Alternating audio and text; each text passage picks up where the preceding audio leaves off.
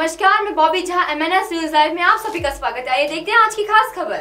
यह है दुनिया का सबसे ऊँचा पोलिंग स्टेशन कुल 48 लोग करेंगे मतदान। पर्यटन स्थलों के लिए मशहूर हिमाचल प्रदेश में एक ऐसी जगह है जहाँ अधिकांश समय बर्फबारी होने के कारण किसी को जाना मना है।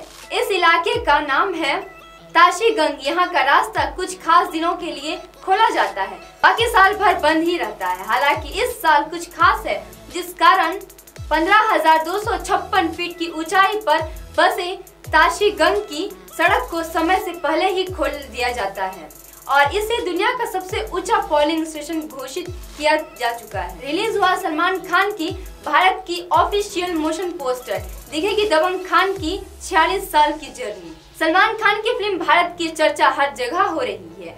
रोज इस फ़िल्म के एक एक पोस्टर रिलीज़ किए जा रहे थे। आज फ़िल्म का ऑफिशियली पोस्टर रिलीज़ कर दिया गया है जिसमें सलमान खान की 46 साल की जर्नी दिखाई गई है।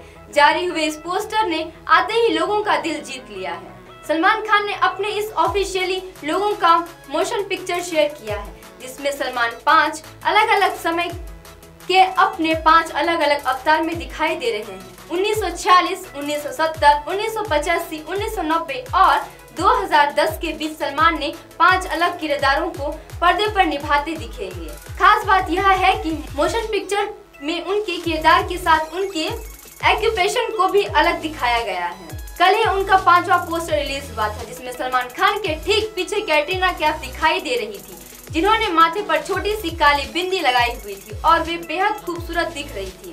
कैटरीना और सलमान दोनों का ही एकदम अलग लुक दिखाई दिया था। सलमान ने इस पोस्टर को शेयर करते हुए लिखा, हर मुस्कुराते चेहरे के पीछे दर्द छुपा होता है और वही दर्द आपको ज़िंदा रखता है। तो M N S news live की खबर देखने के लिए आज प्ले स्टोर ऐसी M N S Hindi app download करें और हमारे चैनल को सब्सक्राइब करें। धन्यवाद।